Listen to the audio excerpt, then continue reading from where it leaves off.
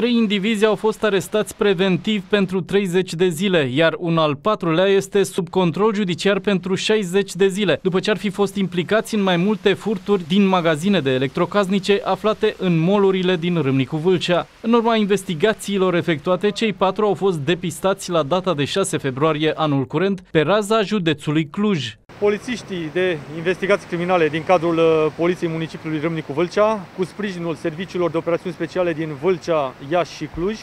au uh, reușit documentarea activității infracționale a patru bărbați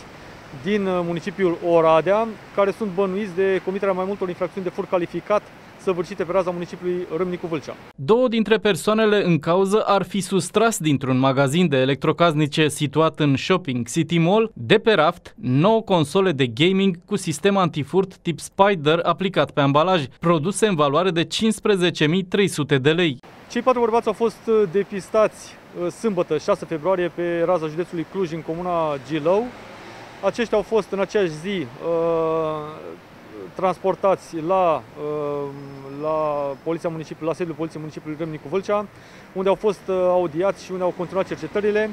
fiind dispusă măsura reținerii pentru 24 de ore față de aceștia și introduși în uh, centrul de reținere și arestare preventivă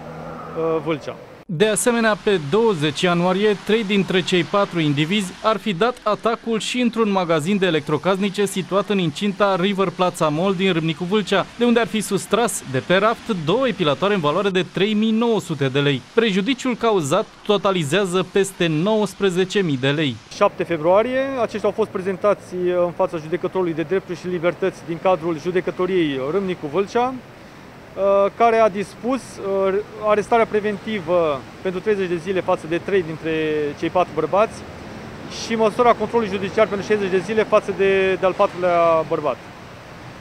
Cercetările continuă sub aspectul Comiterii Infracțiunilor de fur calificat uh, de către polițiștii de investigații criminale din cadrul Poliției Municipiului Râmnicu Vâlcea, sub directa supraveghere a procurorului de caz din cadrul parchetului de pe lângă judecătoria Râmnicu Vâlcea.